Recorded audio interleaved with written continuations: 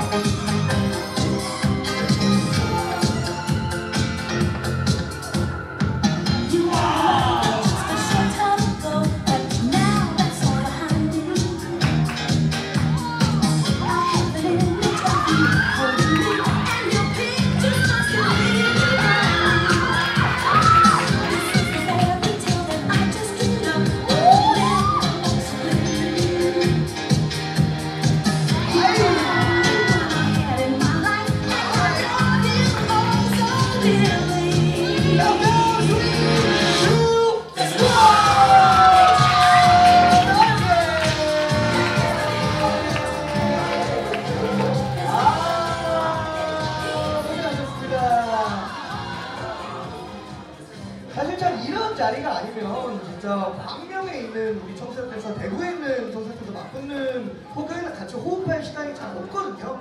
근데 정말 이 올스타이즈라는 자리를 통해서 우리가 또 아주 좋은 댄서들의 모습, 전국 각지에서의 모습, 전국 각지에서 활동하는 댄서들의 모습을 볼 수 있다는 점 너무나 좋다는 생각이 들고요. 이제 4강에 진출할 댄서 가려보겠습니다. 저지스 3,